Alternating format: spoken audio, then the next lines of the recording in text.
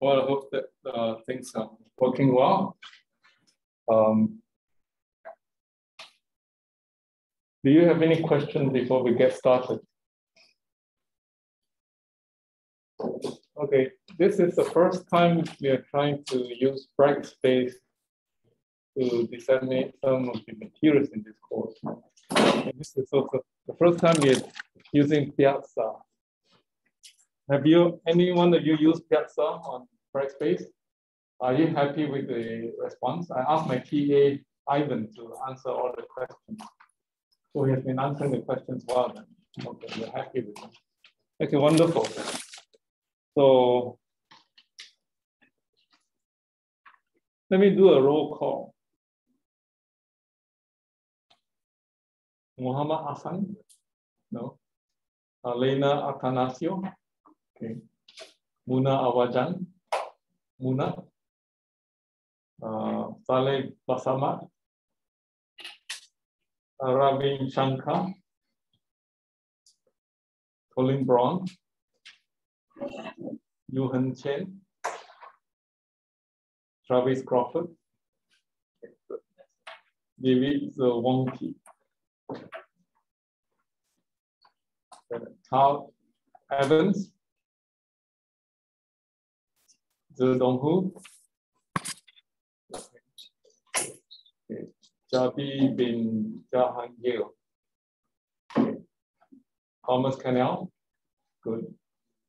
Christopher Lan, uh, Lackney, Christopher Lackney, Yu Teng Lee,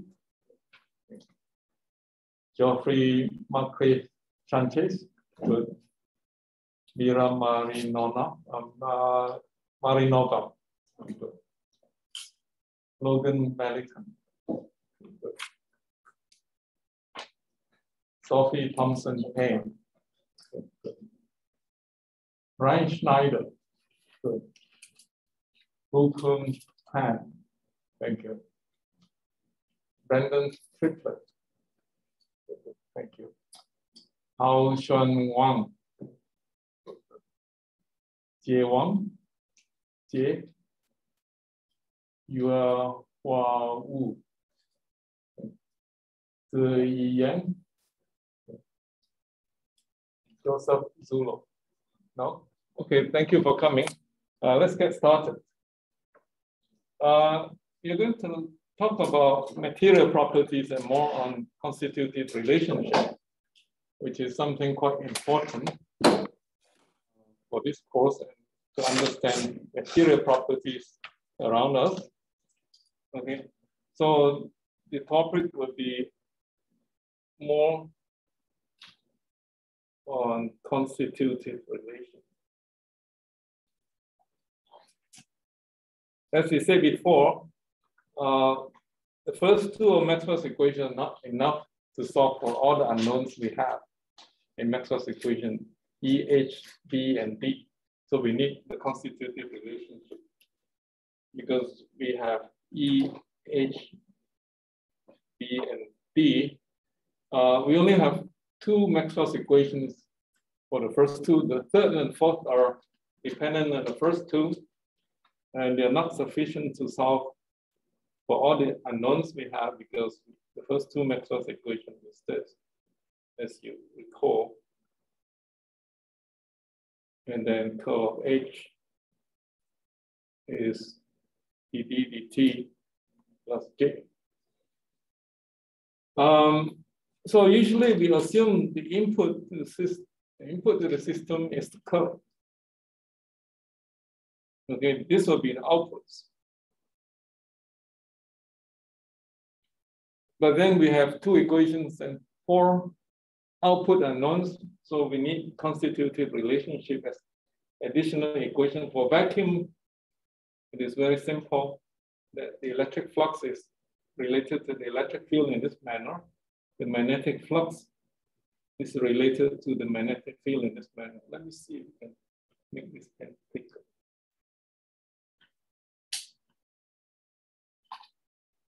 Hopefully this would, uh, this will make it bigger. Okay. And um, so in addition, we have material properties and usually D is just not epsilon naught E, which is the vacuum contribution to the displacement. Uh, we need a contribution from the material medium, which is called the polarization density, that is called P. Okay. In general, this D together with these two terms on the right-hand side give rise to what we call displacement curve. Okay. Um, this is, of course, what we call polarization density.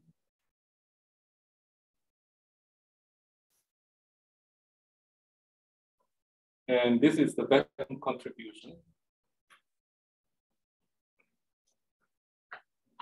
Okay, this is the vacuum contribution to the displacement flux Um, so for linear medium, we can write P in a very simple fashion. So P is proportional to E. P are due to polarization density. They're actually a consequence of small little dipoles in the material medium. And these little dipoles uh, will get polarized by the electric field. For instance, if I have a material medium, they are made from molecules. And you can think of each molecule has been polar, polar molecules, so that if you apply an electric field, these polar molecules will align themselves and they become little dipoles. And they give rise to P, the polarization density. The dipoles or the polarization density is proportional to epsilon naught, let's call it chi E, E. Okay, we say it is really linearly proportional to E in this manner. We do not know what chi E is. And chi E will be dependent on the material that you're looking at. And um, so if you look at the displacement current, it will be coming from both of these terms. And then D would be equal to, as you can see from here, epsilon E plus epsilon naught chi E E. And then what you have is that the thing can be written as 1 plus chi E E. And this is usually called electric susceptibility, uh, named to, to spell and hope I spell it correctly. Okay, chi sub E is called the electric susceptibility. And so this is something that characterizes what the linear medium is. So in the linear medium, you can think of having the polarization density as the output.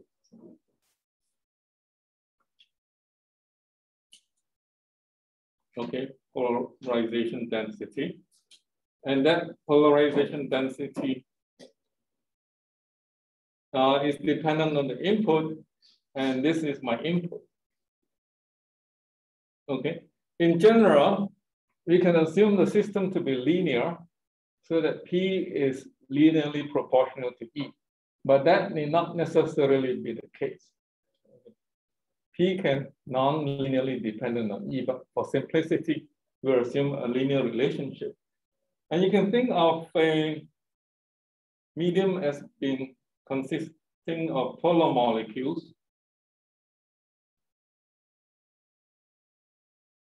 Okay, like H2O is a polar molecule.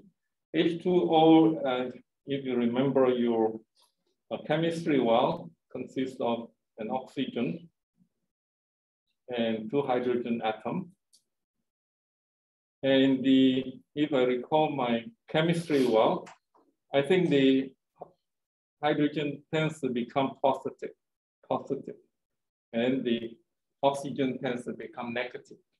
Okay, so together they form a dipole.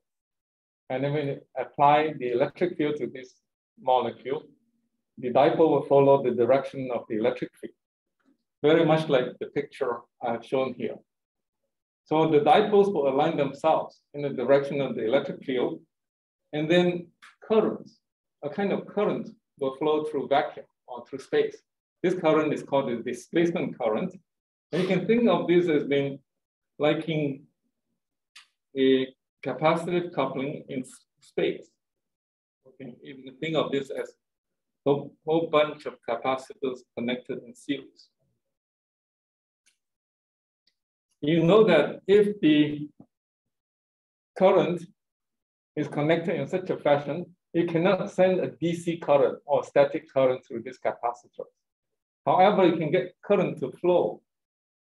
You can get current to flow back and forth if you send in an AC current. So if you start to polarize this medium with an alternating electric field, then displacement current will start to flow. Okay, that's why displacement current is proportional to like when we have Maxwell's equation, we have this term. Displacement current is proportional to the change of the electric flux, whereas electric current may not be. Okay, as you have seen before, in a conductive medium, J is just sigma E. But in a resistive medium or an insulator, the current has to be proportional to the time rate of change of the electric flux, very much like how currents would flow through a capacitor. Okay? So one thing that you have to know, which is that this is a linear relationship, but not the most general one. You can have more general relationship, for instance, that P as a function of time at the position R can be linearly related to the electric field in this manner through a convolution.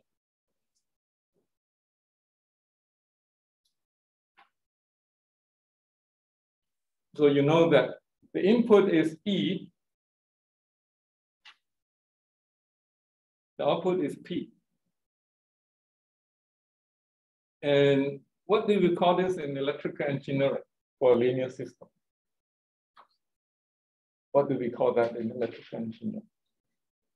Transfer function, right? A transfer function of a linear system.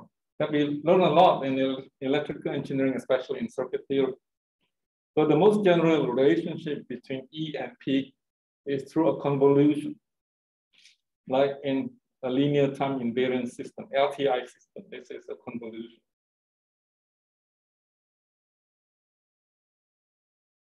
And this is just be a transfer function.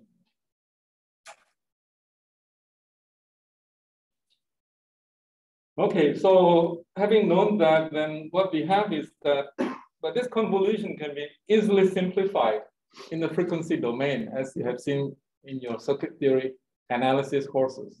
All the inductors, all the capacitors in the time domain, they're very cumbersome to analyze, but when you once you transfer them to the frequency domain, inductors and capacitors become a piece of cake.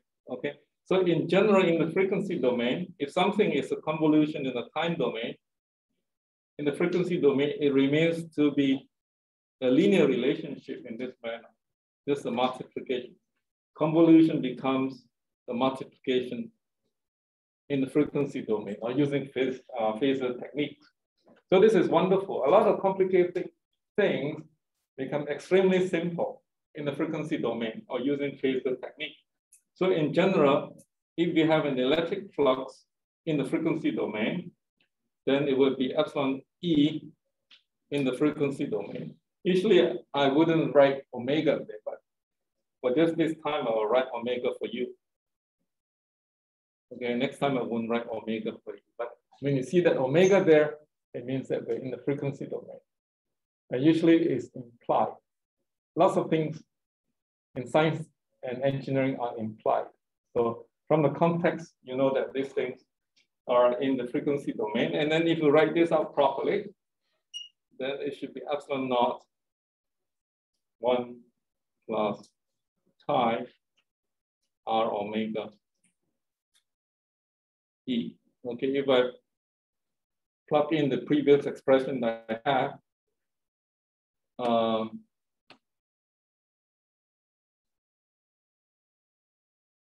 which is in the previous slide. Okay, if I plug this in, this was written not telling you what domain I was in, we'll just assume that we have the simplest of systems there, okay? But if you go through the thought processes, and repeat this in the frequency domain, it should rightfully be something like this, okay? And hence you can also write this as being epsilon r of omega e of r of omega, okay? And this is usually called, this thing being this thing together is usually called effective permittivity of the medium. Okay, we'll learn very soon that this should be a function of frequency. So epsilon is a function of frequency, and we call this uh, being frequency dispersive.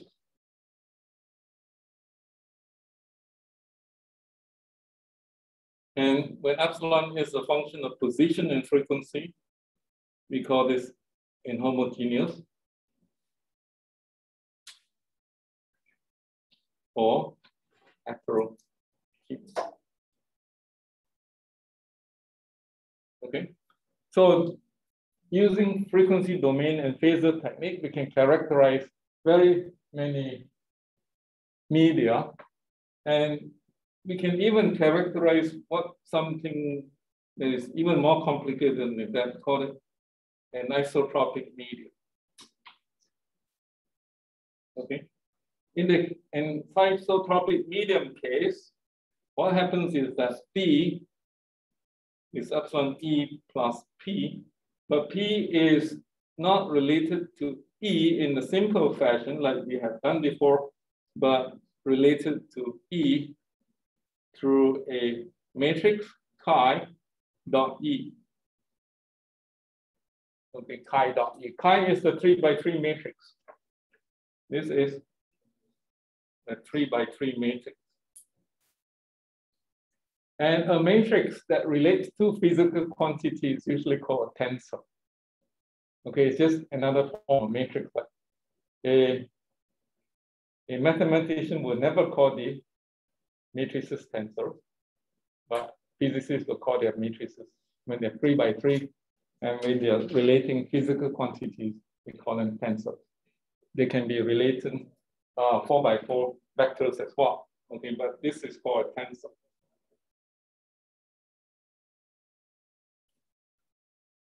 Okay, and so in general, if you lump these two together, you will have a tensor epsilon e times e. Can you see that? If you lump them together, you have this relationship.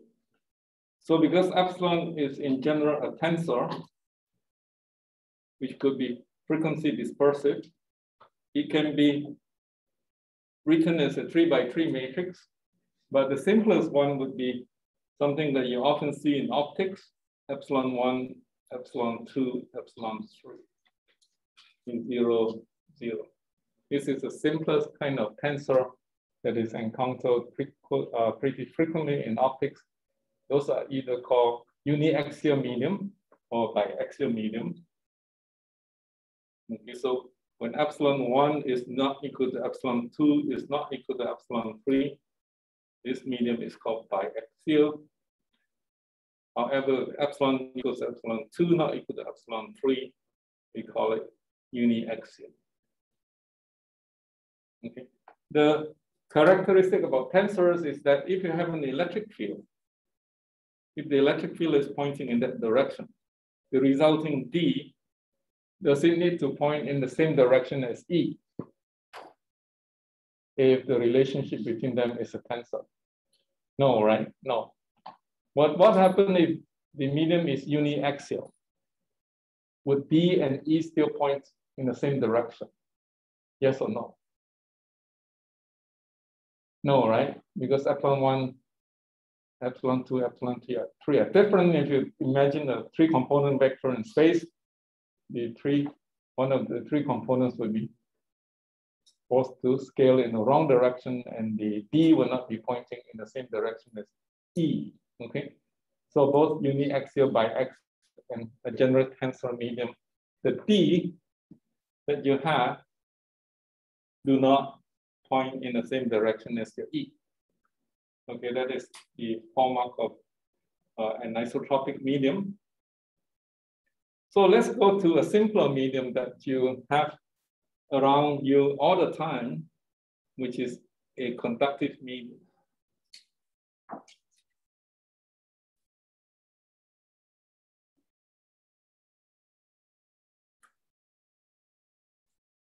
Well, in the conductive medium, we say that the current there is just that in one of Maxwell's equations. And if you want to be fancier, you can say that the sigma, the conductivity itself can also be a tensor, conductivity tensor. And this is often found in a good Earth. Okay, if you're an explorational geophysicist, you'll find that the Earth itself is a conductor and the conductor is quite complicated because the earth is layered due to geographical formations. Currents tend to flow in the preferred direction and the sigma that you have of the good earth is usually a tensor. Okay. So if you were to put this into Maxwell's equation, Maxwell's equation has the displacement current, which I already discussed but then if you have a J, okay, which is a conductive medium, J would appear in this form. And since the right-hand side is all linearly proportional to E, we can rewrite the right-hand side so that it can be written as, uh, sorry, I should write J because I'm mixed up because I'm between optics and electromagnetics. If you're a microwave engineer, always use J. If you're an optics guy, you always use I. And if you talk to physicists and mathematicians, you always use I for imaginary number. But if you talk to an electrical engineer who is low frequency, he works in a circuits lab, he works in a microwave lab, he uses J, okay? And also K is omega mu epsilon for most of us, but sometimes beta is used for this constant. The wave number is being notated differently in different communities. So, so if I were to write this in this manner, so you can see that I can lump the two things together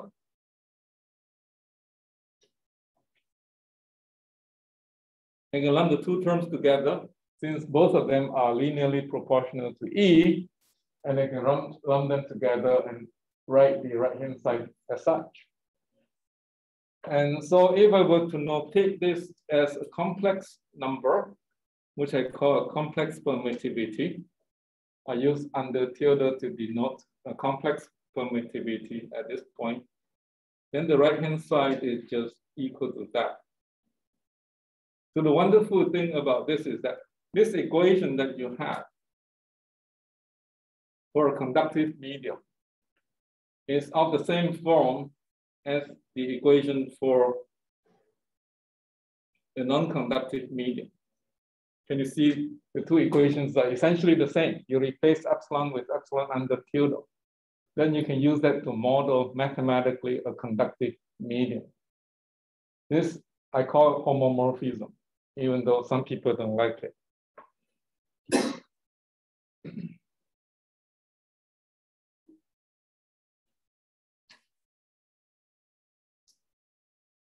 So if you have experience in computer science, there's something called homomorphic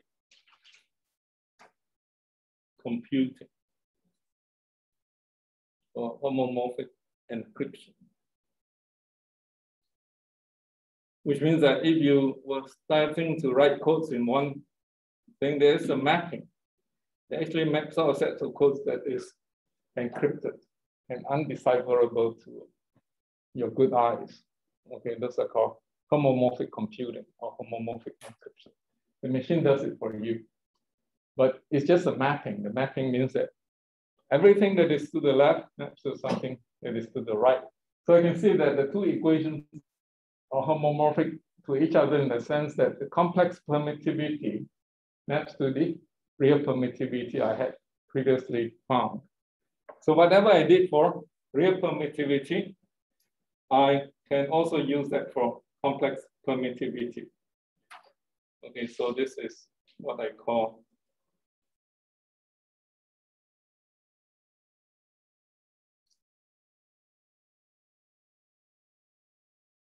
and this is also that complex permittivity. Um, so this is a wonderful thing because you know that the algebra,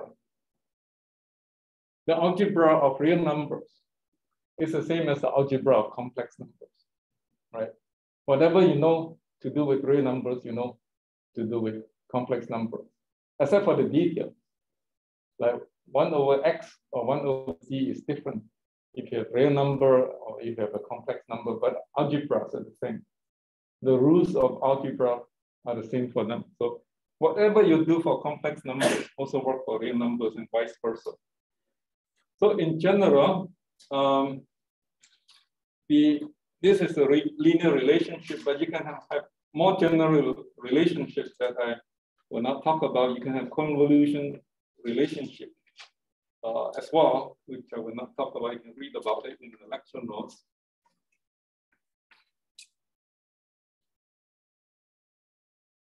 Okay, and then and then in general, the relationship between P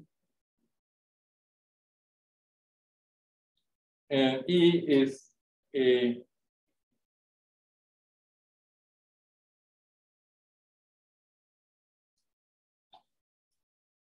something that looks like this. Okay, but you can have something fancier than this you can have the fact that uh, in addition to a convolution in time, because in the time domain, this would give rise to a convolution in time.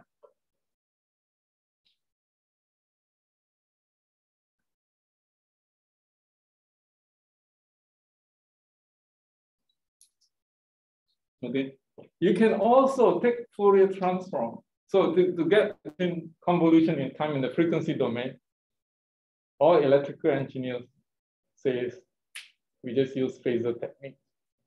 But if you talk to a mathematician, you say you use Fourier transform. You use the Fourier transform to convert between a product, multiplicative product to a convolution. But you can do likewise for space. Say if I have a if I have a very complicated relationship, and if I take it to the Fourier space in both time and space, and this might appear to be something like this.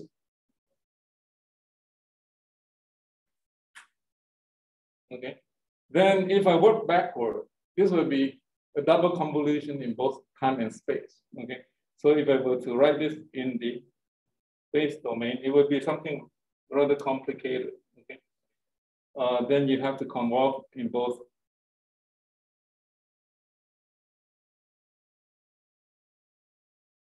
maybe something, I, I'm, I don't know if I use the right notation for that. You have to do a double convolution for both time and space. And then you can get rid of the space dependence of the some of these problems as well.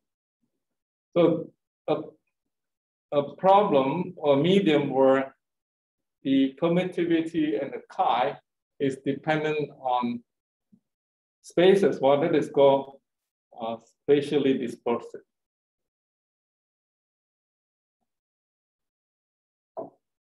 Okay, if it depends on omega only, this is called frequency dispersive. And let me see. Yeah, and if it depends on R, of course, we say that it is inhomogeneous or heterogeneous. Okay. We have also other possibilities like nonlinear media.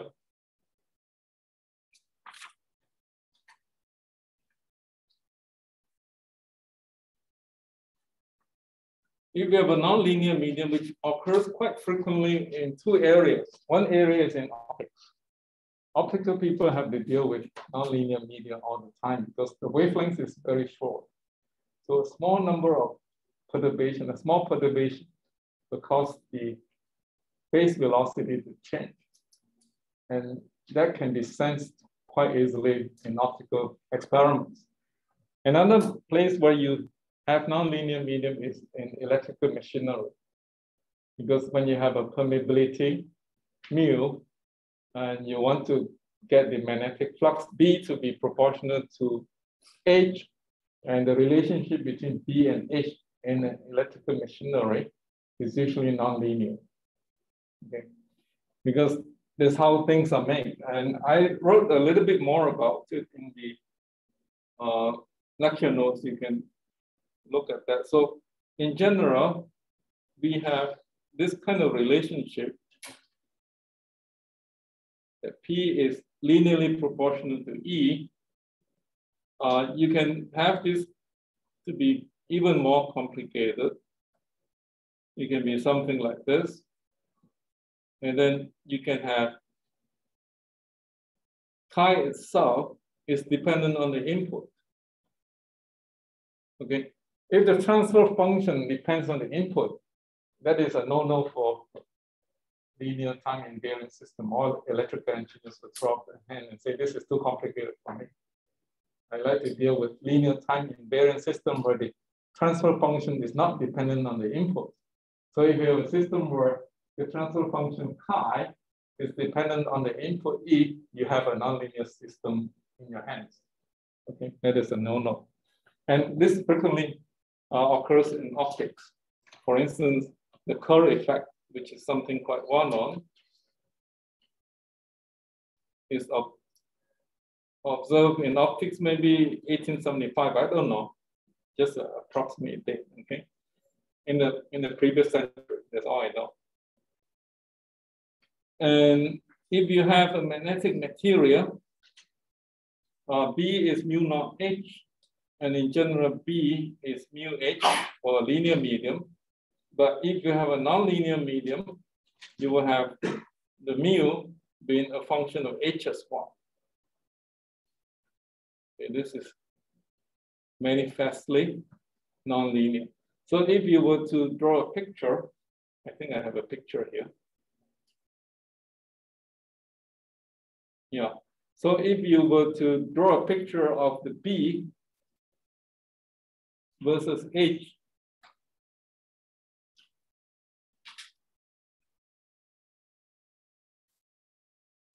So if you were to draw the function of B as a function of H, for a linear medium, it will be a straight line because for a linear medium, B is linearly proportional to H.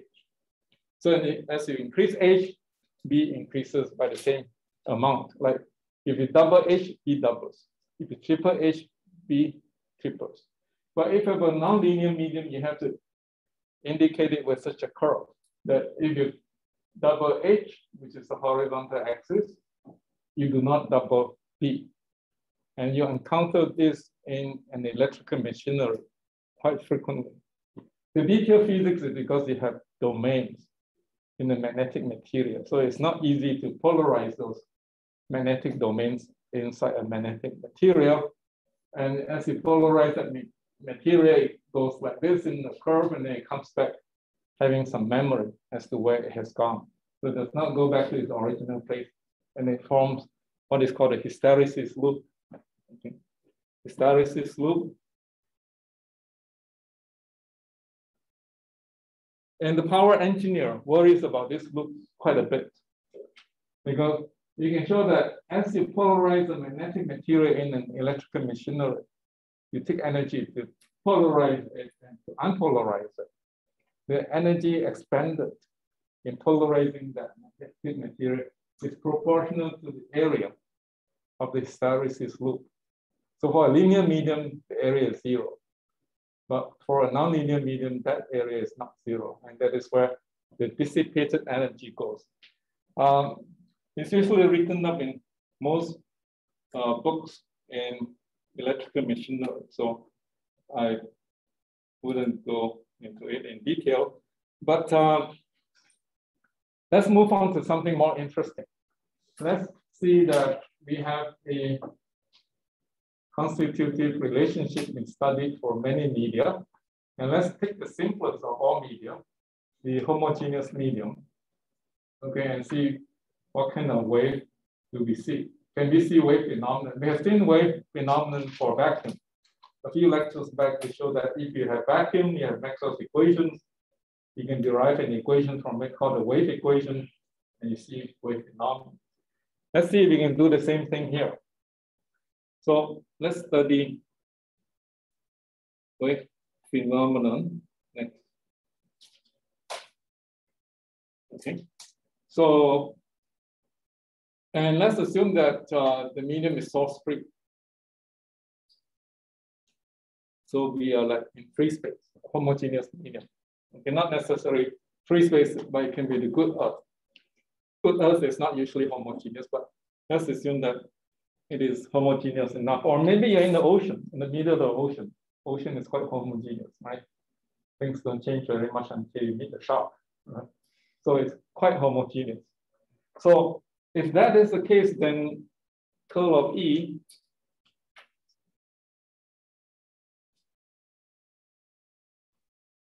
is just j omega mu naught E. If it's homogeneous, we can say that this is just mu naught H, okay? And then curl of H is just minus j omega epsilon E. Okay, for a homogeneous medium, this is true. And then we can actually take the curl of the first equation, okay, and arrive at this equation, assuming that mu is a constant. Okay, mu is a constant. Yes. Part of the sign or on the right hand side of the first equation. Okay, that's let me think. I have to think a little bit because I work between minus i and j. Uh, you're right. Okay, this is for the optics guy. For the microwave guy, it should be backward. Okay, so you take the curl of the first equation, you get this one. Thank you for pointing that out. You get that thing, and then you make use of the second equation. You make use of the second equation to take care of what curl of E should be on the right-hand side. And then you will have um, the right-hand side becoming omega square mu naught uh, mu epsilon E. Okay, you will have that. And again, you use something to simplify curl of curl of E. And you should be a pro at this, this point. You will always have to simplify curl of curl of E until you get tired of it, or you can do it in your sleep. So what is curl of curl of E? You have to memorize your back of the cab formula and apply the back of the cab formula, and you can do it upside down. Okay, and what should that be equal to? What is curl of curl of E?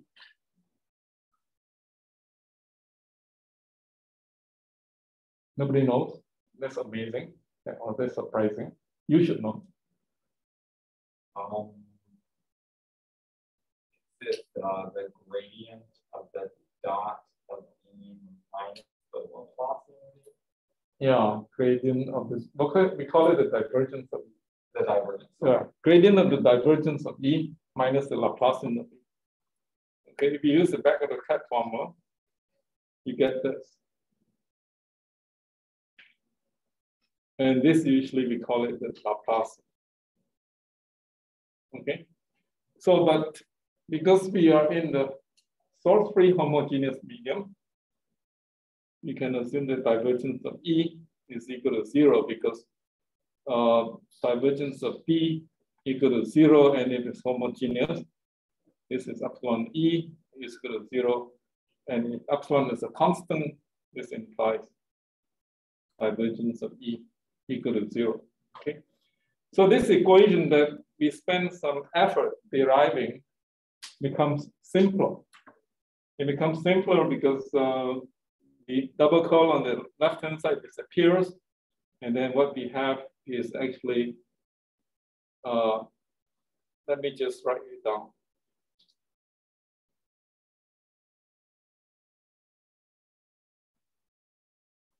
Okay.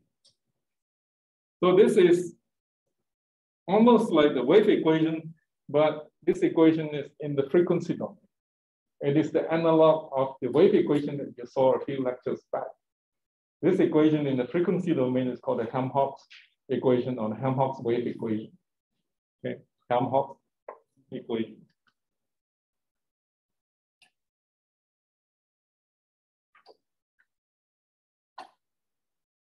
Okay, so let's look for solutions to this Helmholtz wave equation then. Uh, let's see how we get here.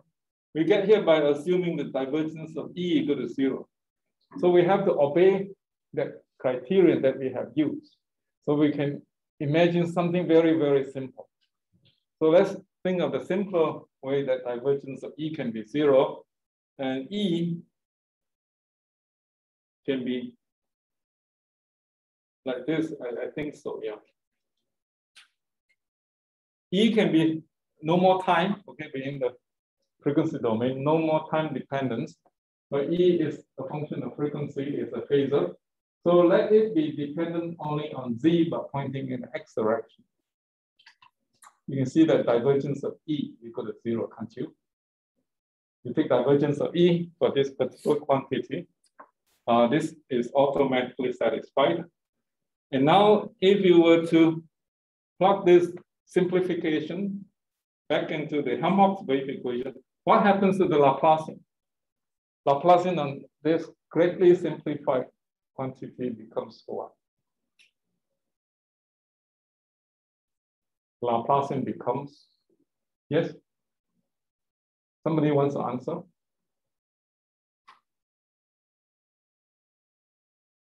What happens to partial square, partial x squared, the Laplacian? The remember, is partial square, partial x squared, plus partial square, partial y squared, plus partial square, partial z squared. But only one of the three remains. Which one of the three? Partial square, partial z, partial x squared, partial y squared all disappear.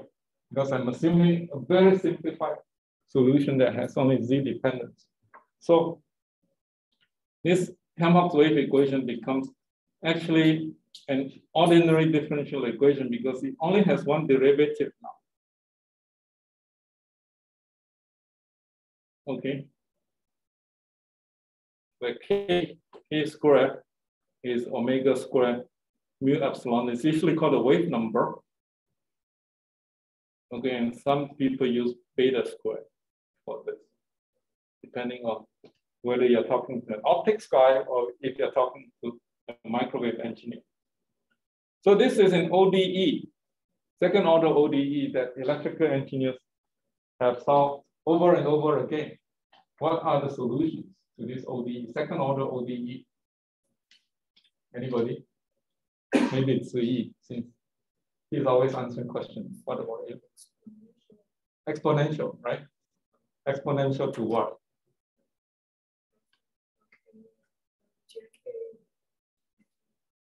Very good. You got one of the two terms correct. What is the other one?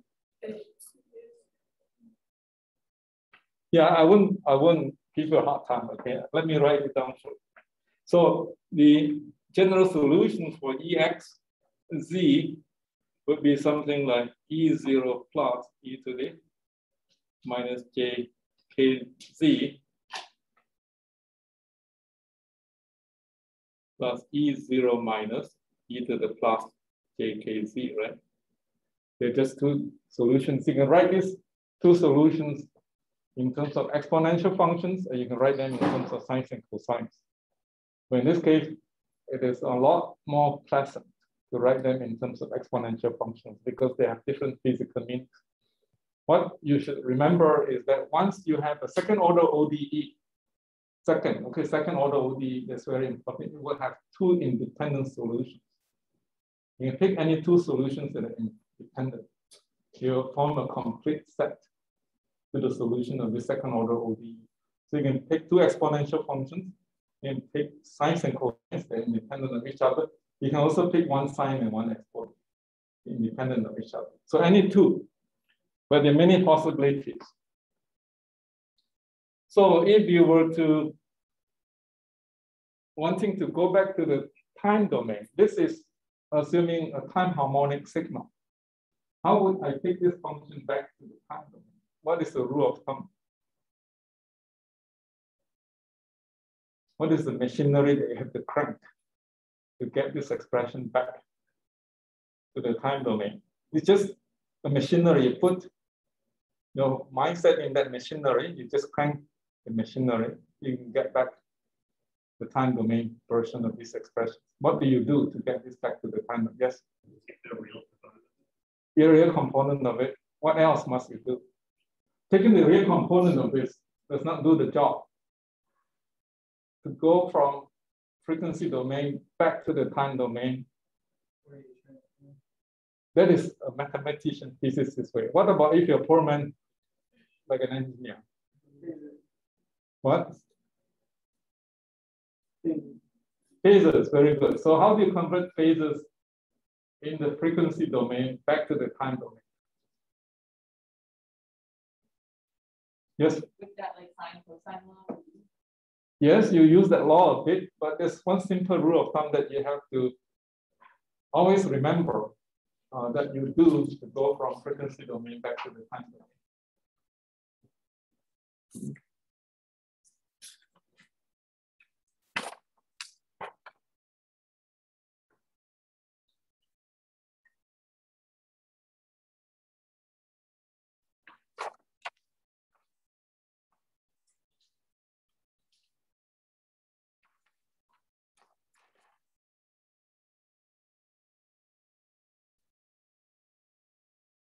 Are you WPT?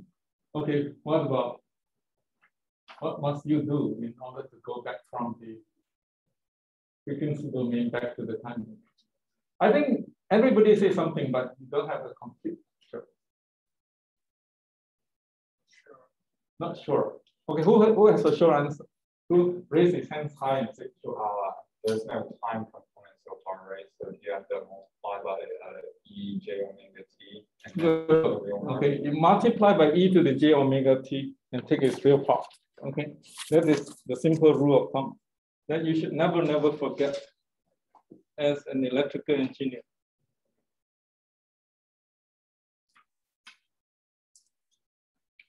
You take the phasor in the frequency domain, which is a complex quantity. This is very important. Okay, multiply by this and you take its real part. That is the, the gist of the phasor technique. And you, of course, use the Euler's formula in order to do that. You get the cosine of the whole thing. Okay, so somebody who say Euler's formula, that was correct too. So you get something like sines and cosines too. So it's somewhere buried in there, but things are a lot more complicated and more interesting than that. Okay, let's look at the case of a uniform plane wave.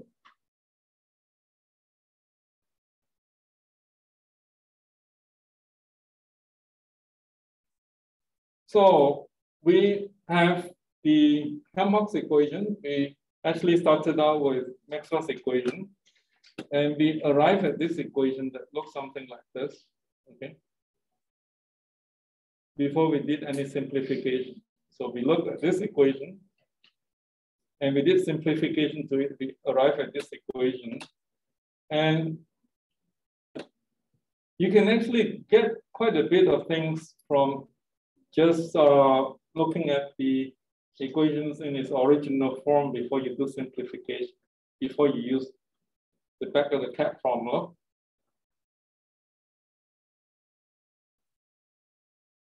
So source free, so we don't have any sources in this problem. So this is the wave equation. Sometimes this is called a vector wave equation. Vector Helmholtz wave equation. Okay. And if you assume that the solution is like a wave, a wave propagating in all directions, e to the minus jkxx minus jkyy minus jkzz. And if the solution is something of this form, exponential form, oscillating in the x direction, oscillating in the y direction, oscillating in the z direction, but oscillating as an exponential function. So this is the hallmark of a wave. And this is how a wave should look like. And you can write it more concisely or more succinctly using a shorthand notation. Okay, the whole thing in the exponent can be written as the dot product of two vectors, where the first vector is this vector. The second vector is the position vector. We call the first vector we call the k vector or the wave vector. The second one is the position vector. It's drifting away. White chips.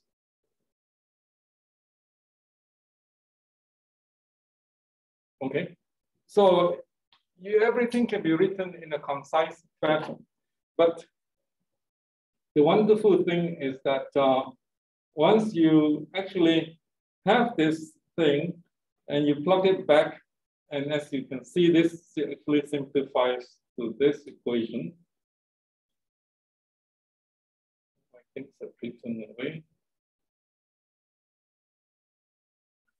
This equation, and then if you have the Laplacian operating on a function like this, can you easily see that this Laplacian, which is partial squared, partial x squared, plus partial, partial y squared, plus partial squared, partial z squared.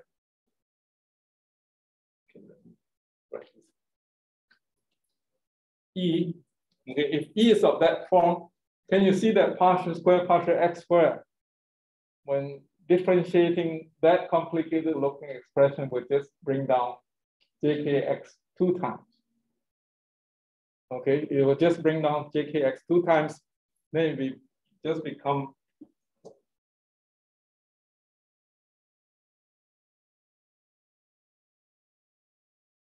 minus kx squared minus ky squared minus kz squared.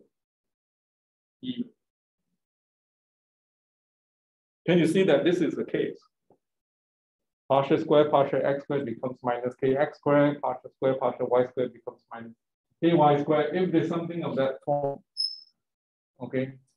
And then uh, partial square, partial z squared becomes that. And that has to be equal to this equation, okay, which is equal to minus omega square mu epsilon e. And we can call this k square minus k square. Okay, we defined that somewhere earlier. So you have this relationship, which is quite important. So if you assume a solution of something like this, the k vector, which is called a wave vector, will have x, y, z components. And the x, y, z components have to be such that kx squared plus ky squared plus kz squared is k squared. So think of this as a equation of three variables.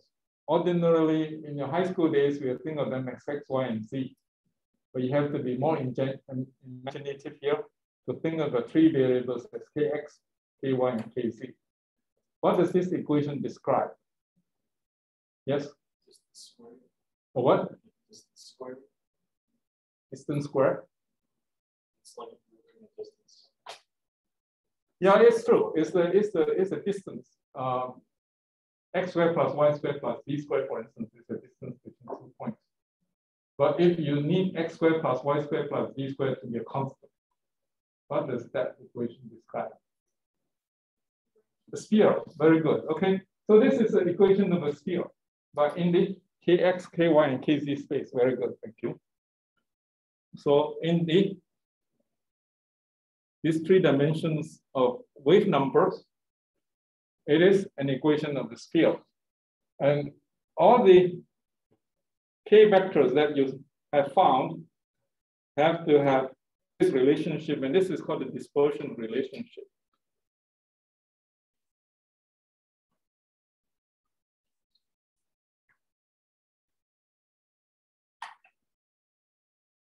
So what, what is more interesting is that um, if you write this thing in this manner, this k dot r is the phase of the exponential term, okay, phase of the exponential term. And if you demand the phase to be a constant, you will have this picture in your head that if k dot r is a constant, and you will have this picture I show on the bottom left side. K is a vector, a wave vector that points in the K direction. Okay, let me blow this up. K is a vector that points in the K direction and can be arbitrary. You can pick any Kx, Ky, and Kz that you want, say for the fact that it has to be on a sphere. Kx squared plus Ky squared plus Kz squared must be a constant or k squared. Okay, you can pick k to be anything except that it has to be part of a sphere. Okay, and then say if you imagine k dot r is a constant, which is that thing I have in exponent there. Can you see that all the positions that make up r lies on the surface that is orthogonal to k? Can you see that geometrically? That is, if I pick an r that is on that orthogonal surface to K. Okay, K dot R must be a constant. Can you see that?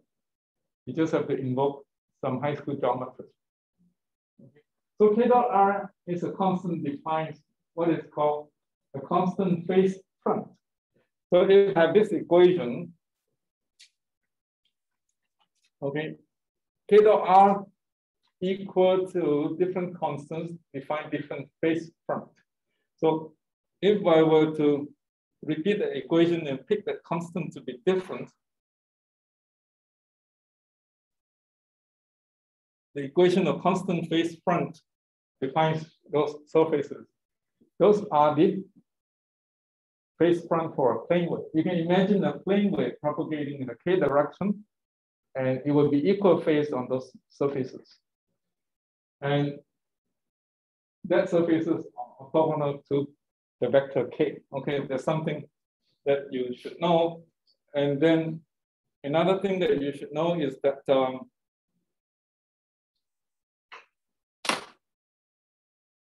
so are there any questions so far? So another thing that you should know is that um, the E, H, and K we have a k vector that we have defined. We just pick an arbitrary e and put in the equation. And then you'll find that there's h that goes with e, and all three of them form a right-handed orthogonal system in this manner. H points out of the blackboard, E points that way, and E and H are both orthogonal to K. Let's see how we can see this, okay? So we go back to Maxwell's equations for source-free homogeneous medium again. Okay. So we have this equation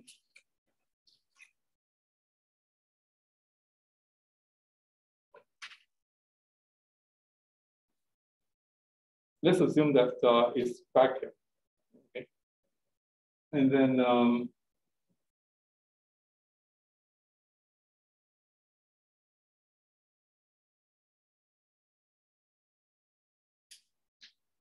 I get my sign wrong. Right? Could be this way. Okay. So one thing you notice is that if you have a curl operator, co-operator is in fact just x partial partial x, x hat, sorry, plus y hat partial partial y, plus z hat partial partial z. And if your E is proportional to E naught e to the minus jk dot r, which is a shorthand notation for that ugly things in the exponent. Okay, this is a succinct and elegant way to write the thing in the exponent. And can you see that whenever you have this del operator operating on an exponential function that is that simple, this del operator would just become uh, jkx minus y jky minus d jkz. Can you see that? Okay, partial partial x just become minus jkx, partial partial y just become minus jky, partial z. So if you're dealing with plane wave, which is the bottom equation that I have in this slide, the del operator becomes very simple. It just becomes equal to minus j. Maybe I just write it down in one shot. I won't go through the detail with it. It's just minus j times the k vector. Okay, if you reassemble everything together, the right hand side is just minus k times the k vector. So that gives us a very simple rule of thumb. Space derivative with the del operator is just replaced with a k vector times minus j. Just like in the time domain, whenever we have a time derivative, we just replace that with j omega. But now we have a three-dimensional derivative, we just replace that with the minus jk. So Maxwell's equations just becomes like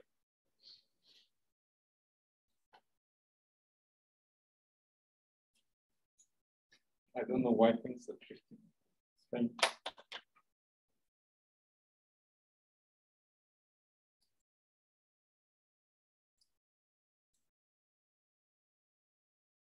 So let me see. So what happens is that Maxwell's equations just becomes like the first one, just becomes um, minus j k cross E equal to the minus j omega mu naught h.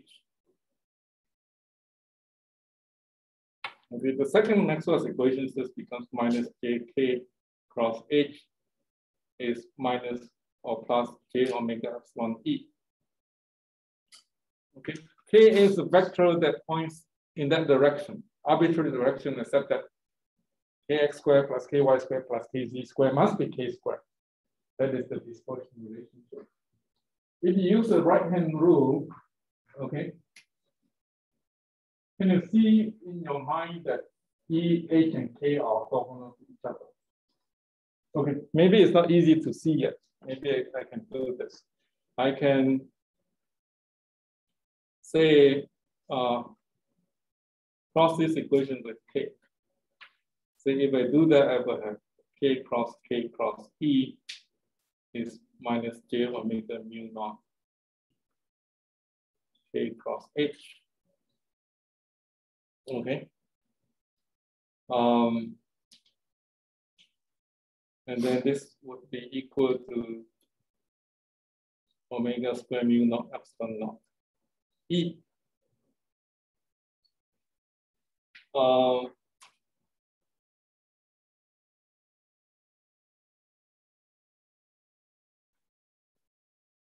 Um, okay, the best way to see that K is orthogonal to E is this, okay? That uh, you take you take this equation and it with K. Okay, we take this equation and dot it with K. What happens to the left-hand side when you dot the left-hand side with K? Take the second last equation dot dotted with k. What happens to the left-hand side? Zero, right? So the right-hand side is just k dot e. So this equation implies that k dot e must be zero. So the e field must be orthogonal to k. Okay, and then you take the other equation, it says that if you know your e field, the, second the third last equation, if you know the E field, you cross that with K, you get the H field. So E and H must be something. Okay, I better make sure that I get it right. H is orthogonal to both E and K. But should it point out of the paper or into the paper? I do not know. I lost the train of my thought when you have too many cross products. I have to play with it. But what is the sanity check that you should use here to make sure that you pick your H in the right direction? Anybody? Yes? Should you use the right hand rule? E cross H. Yeah, should, should H be pointing in where? Into the paper or out of the paper?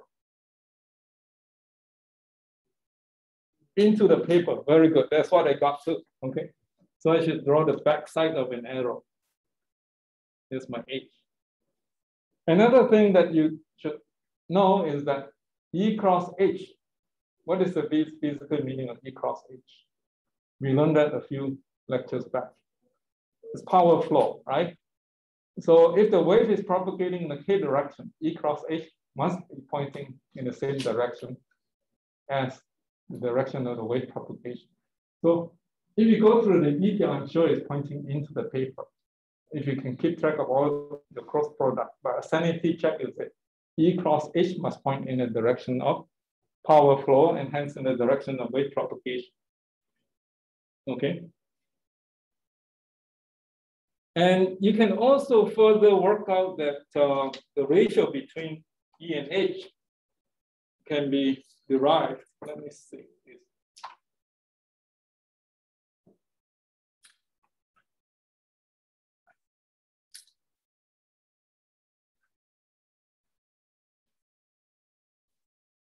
Okay, I, I wouldn't do it. I won't do it anymore, but I, I just let you read the lecture note. You'll find that H is epsilon mu E. Okay, in other words, you can define an intrinsic impedance, which is this. Okay, that can be worked out from the algebra. But I'd like to move on to a new topic before we end the lecture, which is the case of a conductive medium. Okay, let's go to the case of a conductive medium.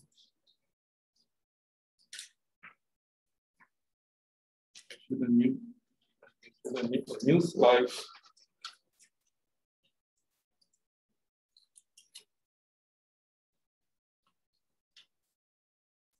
Okay, so let's talk about conductive medium.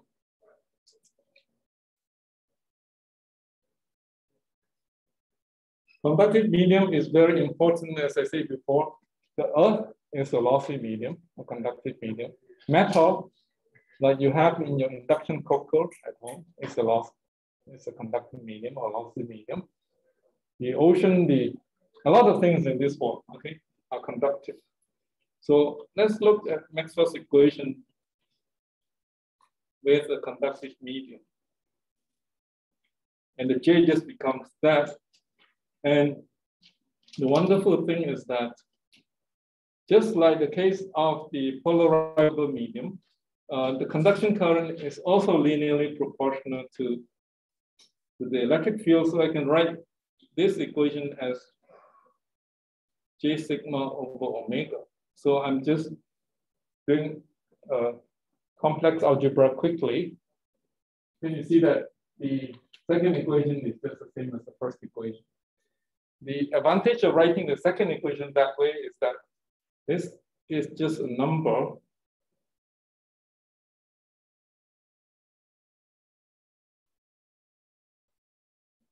Okay, this is just a number, and this number makes that uh, equation for a conductive medium be no different from the equation for insulating medium. So they're the same. And so what happens there is that uh, just like what I did for homogeneous medium, I can also assume that the, the solution is something of that form because the solution is homomorphic to that. I would arrive after some manipulation that the electric field must satisfy this equation for a homogeneous conductive medium, except that this is complex, okay? I did that for a homogeneous medium, but now if I replace that homogeneous medium with a conductive medium, the only thing I need to do is to replace the epsilon with epsilon under tilde. Okay, where epsilon under tilde is a complex number. And you go through the same algebra again, you will also arrive at the fact that kx squared plus ky squared plus kz squared must be equal to k squared, but k squared now is a complex number. Okay, so this equation cannot be easily satisfied if epsilon under tilde is a complex number. So kx, ky, and kz are complex numbers at this point in order for you to satisfy this equation. So this problem is more complicated. So in order to make life simpler, I'm going to assume a simple form. Assume a simple form that the electric field is just pointing the z direction. Okay, instead of solving an arbitrary solution in a conductive medium, I just assume this solution there. Okay, and then you will find that k square is omega square mu epsilon under tilde, which means that k is omega mu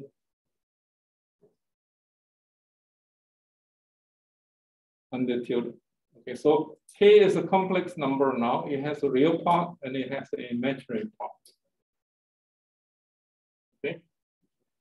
And you can work out the rest of the things for conductive medium. Again, you find that E and K are orthogonal to each other for this particular case, but you also find an interesting relationship that uh, EX and HY is also related by this intrinsic impedance, except that the intrinsic impedance, the permittivity now is a complex permittivity. So the algebra is homomorphic. I use the word homomorphic because they are all the same structure.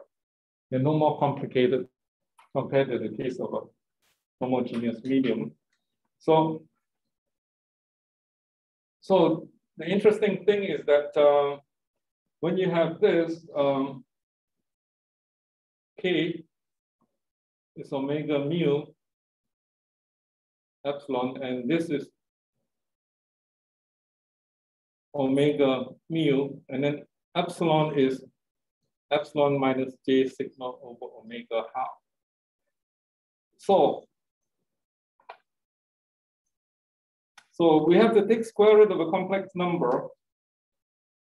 And for many of us, that is a piece of cake. But for some of us, we have to scratch our head how to take the square root of a complex number. Okay, I guess all of you know how to do that since you went through uh, taking undergraduate courses in electrical engineering. So, so what happens is that if sigma over omega is much, much larger than epsilon, if sigma over omega is much, much larger than epsilon, then you can see that k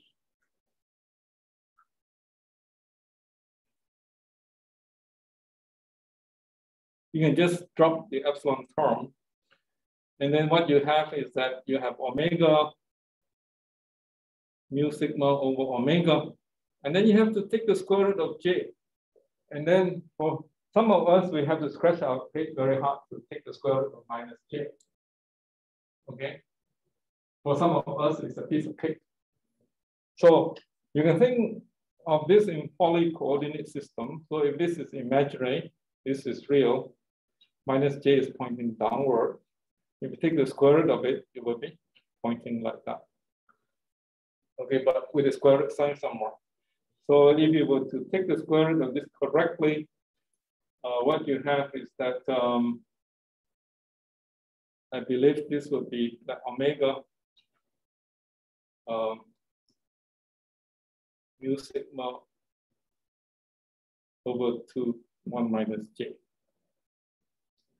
that is, if you take the square correctly, which means that the k wave number, which is a complex wave number now, you will have a real part and an imaginary part. What does the imaginary part to the complex wave number do to the wave? So the wave is going to propagate in this manner, e to the minus k c. k is now a complex number with the real part and the imaginary part. What does the imaginary part of k do to the propagation of the wave? Yes. Exponential decay. What is the name again, please? Yeah, your name. Logan. Logan. Okay, I try to remember that. Okay, so it will give rise to exponential decay. And the decay rate, you can work it out from those things. and you can get the real part and the imaginary part, you can see that the decay rate, okay, is um, C over delta. And delta is equal to 2 over omega mu sigma. You can work it out from this number. Okay, that number is called the skin depth. This number is called the skin depth. So just by staring at the formula, you get some insight. All lossy conductive medium attenuates a plane wave, and that plane wave cannot propagate more than this distance, which is called a skin. So if you have to talk, talk to your buddy who is doing some service under the ocean in a submarine, you can only talk to him using radio wave. And if you look at the skin depth of the ocean, it has that formula governing the physical law. In order to talk to your buddy in the depth of the ocean, what must you do in order to talk to him or her? I don't know. Do women serve in the submarine as what they? They do. Okay. So if you talk to any of those, and you need to, what, what is what is the three parameter that you can do to make delta large so that the electromagnetic wave can propagate a long distance? Yes. Very good. Okay, make the frequency very low. Okay, then you can send signals to your body. But the bit rate is very low, unfortunately. Because you can only send very low frequency. So you cannot have time for a long chit chat. Okay, you can have to send almost like Morse code in the olden days. Okay, so so you can figure out the frequency, you can figure out the conductivity of the ocean water, you cannot have control of that. And this is what controls induction cooking too at your home. A lot of us cook with induction cookers. And there is a radio wave. I think it's probably on the order of megahertz. Okay, and that radio wave dissipates energy into induction cooking. And they're governed by this formula. You can actually decide on what to do to make the skin that big. You can change mu. So if you go to the supermarket and look for the induction cooking pan, you look under the pan and see if they're made for induction cooking. If you buy the wrong one, the radio wave just go through the induction cooking, not this, not depositing any energy. But you pick the right one with the right mu, all the energy is confined to decay in the bottom of the induction cooker. Okay, so these are the two practical usage, usage of this formula. Of course, we were in oil exploring to do something else. Okay, I'll, I'll stop here, then we can continue again next time.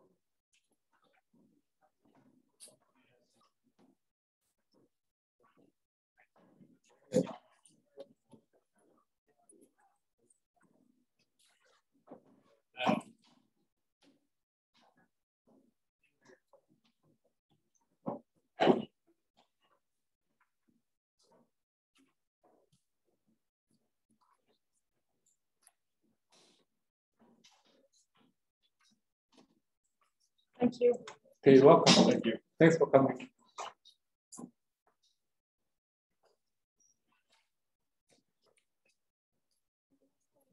Okay, thanks for coming.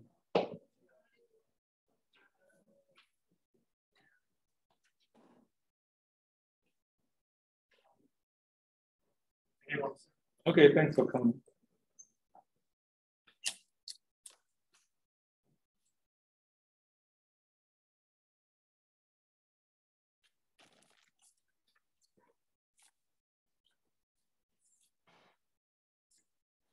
байсан чи юу? Тэгээд таньс утга нь